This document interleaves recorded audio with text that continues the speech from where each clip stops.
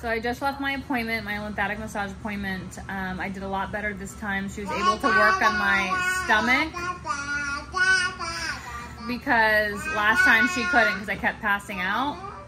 Um, this time I did not pass out. My migraines are really bad. I think that's the worst pain right now.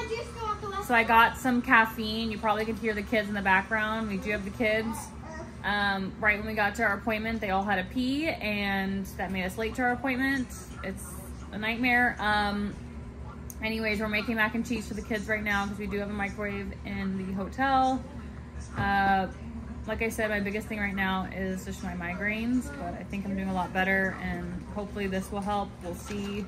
It's also not good for me to have a lot of caffeine, so I'm only gonna drink maybe half of it. Um, and I'm trying to eat as much as possible because I know it's gonna help with my iron levels. So there's my update on day, what's today, day three?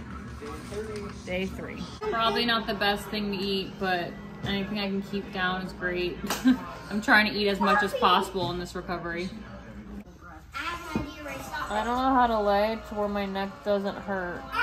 Like this is definitely gonna hurt my back, but if it hurts my necklace, I don't care. This is the most painful part is trying to figure out how to lay. We're on day three of healing. The only reason why I'm talking and filming is because I took an Excedrin migraine. My migraine the past 24 hours was worse than the surgical pain. My front of my stomach doesn't hurt at all where I had the revision of the tummy tuck. My butt is sore and I feel tight after my lymphatic massage, but it's like nothing crazy.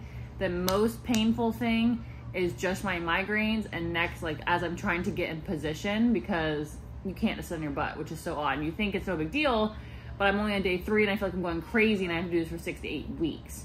The zero gravity chair is helping, but sometimes my legs fall asleep in it and you just want to sit down and you can't. So that's a horrible thing. Um, stop taking the, I don't know if I'm allowed to say the word. I stopped taking the prescription drug, the hardcore one that the doctor gave me. Honestly, it wasn't doing anything because I wasn't in that much pain. I just had a migraine so bad. So I thought I had to still take it. I stopped taking it and I took Excedrin. I'm just gonna stay with my Excedrin and I have Tylenol if I need it. I've heard horror stories about a BBL. Right now, I'm gonna knock on wood because I was so fine the day I got out of surgery. It's not the surgical pain, it's the migraines. I don't know if it's because my blood pressure keeps dropping because I keep fainting with certain things that's giving me more migraines, but that's my only concern. I did get a lymphatic massage earlier today. Um, and this time I did not pass out. With my first one, I did pass out three times, so almost did.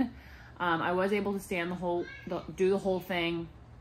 Um, but at the end, I did get really woozy. I had to stop for a second. So I can't stand up very long still. So this might be contradicting. So yes, I'm not in a lot of pain, but when I stand up, I'm very woozy. Like my iron levels are still really low. I'm trying to eat a lot of protein. I am not vegan and vegetarian this week. I'm trying to eat as much protein, as much meat, and all that, and lentils and all that kind of stuff in my body. Um, migraines are horrible, but we're doing it, man. Um, sleeping has been really difficult. I keep going, I just take cat naps all day, and then the kids screaming with my migraine is just like horrible. I've never had a migraine like this.